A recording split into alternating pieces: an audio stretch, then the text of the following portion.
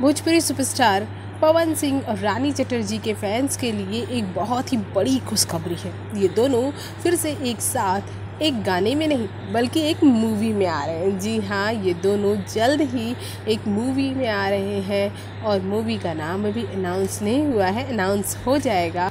क्योंकि पवन सिंह इन दिनों अपनी फ़िल्म चांदनी की शूटिंग में बिज़ी हैं। उसके बाद वो नवरात्र के कुछ गाने शूट करेंगे और फिर हो सकता है कि जैसे ही चांदनी की शूटिंग कंप्लीट हो, वैसे ही पवन सिंह जुट जाएँगे रानी चटर्जी के साथ अपने प्रोजेक्ट पर।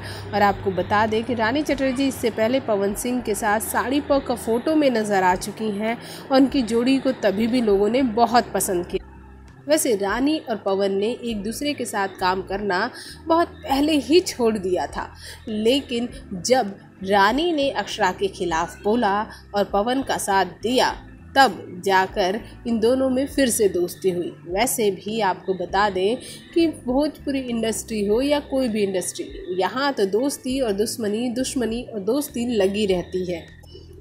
और अब रानी चटर्जी पवन सिंह को फ़ोनू करके बुलाती हैं और आपको बता दें, फोनू पवन का ही शॉर्ट फॉर्म है। वैसे ये दोनों आए दिन एक दूसरे के साथ बातें करते ही रहते हैं, क्योंकि अपने वीडियो कॉल को रानी चटर्जी पवन सिंह के साथ पोस्ट करना बिल्कुल नहीं भूलती।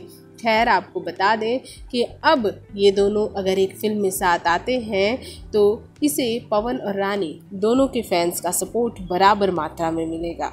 आप क्या सोचते हैं इस बारे में? हमारे कमेंट बॉक्स में कमेंट करके ज़रूर बताइएगा। भोजपुरी जगत की हॉट और मसालेदार गॉसिप के लिए हमें सब्सक्राइब करना बिल्कुल ना भूलिए।